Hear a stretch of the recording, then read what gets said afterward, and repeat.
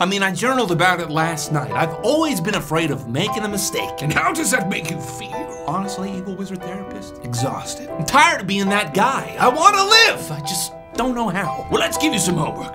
Next time you feel anxious or something bad happens, say a girl you fancy rejects you. Simply smile menacingly, steeple your hands together, and whisper, yes, all according to plan. Even if I don't mean it? Especially if you don't mean it. Thanks, Evil Wizard Therapist. You're a miracle worker. Oh no, quite the opposite. Huh? Guess I'll see you next month. Uh, actually, what are you up to this evening? Maybe we could go bowling. Not as Evil Wizard Therapist inclined, but as friends. I have to, uh, wash my house.